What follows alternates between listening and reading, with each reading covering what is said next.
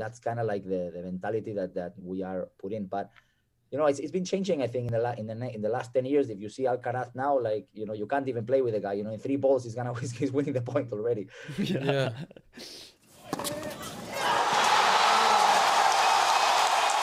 I'm from New York, right? And growing up in New York, you know, everybody, really the U.S., you hear, you know, oh, like where are you training? Oh, I'm going to Spain this summer. Like there's this like there's this there's this fascination, kind of an obsession when it comes to like tennis players, definitely in the U.S., but pretty much all over the world. Like we have a buddy of ours who's played on our college team, and he's he you know when he was talking to us about you know trying to go pro, he the first we were like, all right, so what's your plan? He's like, well, I'm going to Spain, and then we'll figure it out. So the you know there's there's there's a lot that gets talked about when it comes to the Spanish training and and and, and the Spanish method to train tennis players.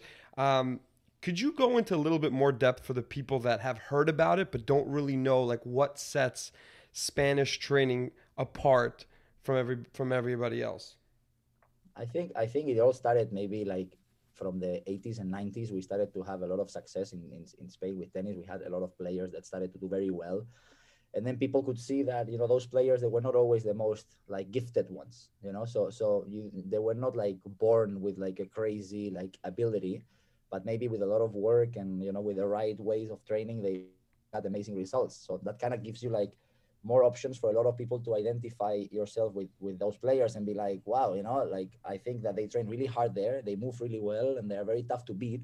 So i think that i can you know go there maybe get something out from from the way they train. And also you know we have a good weather.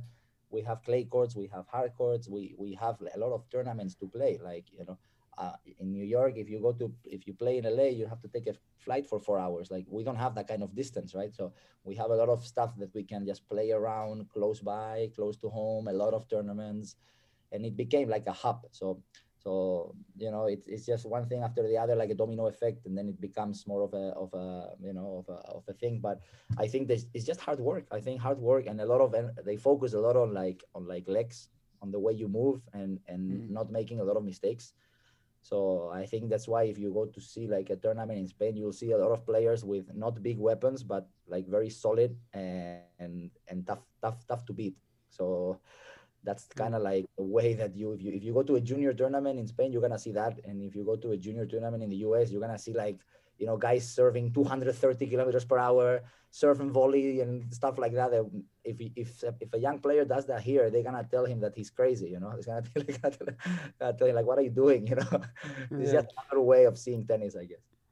Do you think that that's a positive? Because like, uh, if I think about your game, I mean, you got major weapons. Your forehand's a weapon. You have your serve's a weapon. I mean, it's not a you know John Isner. Uh, I mean, might as well be, but but it's not. Uh, you know, it's not a. It's not like a mat. It's not like you know Opelka or something like that. But you got a massive serve, and you also have massive forehand. What, what I think so, is that when you have when you have that pool of players trying to play, of course, there's gonna be some guys that have some weapons because there's so many people trying to play tennis in Spain. So of mm. course, some guys are gonna have more weapons than others, but but I just think that maybe they en- emphasize much on on on some things and they don't cover the whole game. I think like maybe in other countries like France or they maybe teach a bit more an all-around game, and in Spain it's more of just like a more defensive way of of, of, of playing and, and not always being the one dictating and and that's kind of like the, the mentality that that we are put in but you know, it's, it's been changing. I think in the la- in the in the last ten years, if you see Alcaraz now, like you know, you can't even play with the guy. You know, in three balls, he's gonna he's winning the point already. yeah, yeah. No, I, I heard I heard if you slice a backhand on a on a Spanish on a Spanish court, they deport you back to uh, wherever you came from. Uh, um, but no, yeah, no, it's there are definitely changes. I feel like. I feel like, especially with, like you mentioned Alcaraz, but a lot of these like Spanish guys, like the younger guys. I mean, the the the how much more aggressive they are compared to like maybe previous generations is a huge difference. But I feel like Alcaraz kind of reminds me of a Nadal as well, because Nadal is like grinder, but but also puts it away, you know. So it's I feel like it's nice to see that it's it's almost as if their defensive game is still as strong because there's the foundation is there, but then they also have these weapons where they're finishing the point. So it's like, how do you beat a guy like that? Because you can't you can't you can't beat him you know by being aggressive because he defends it and then he also beats you by being you know so it's like a it's a it's a lose lose yeah. for anybody that's why you, you know? retire if you see exactly. a spanish name in a draw you just retire That's it, man. So No, I think Alcaraz is I think Alcaraz is, is more aggressive than Rafa because like Yeah. he just tries to t- to to like dominate you right away. I think Rafa likes to first wait a little bit and then you know he tries one time, then uh, wait a little bit, then he tries another time. I feel Alcaraz is like the point starts and he goes like pum pum pum pum pum and he's just gonna try to to you know keep the points very short. Mm. You know he tries to do that. Sometimes you, he can't, but I think Rafa likes to you know rally longer Mm. even though he's aggressive. But I think he, this guy, I think he's more aggressive. He he's a beast, man. Yeah.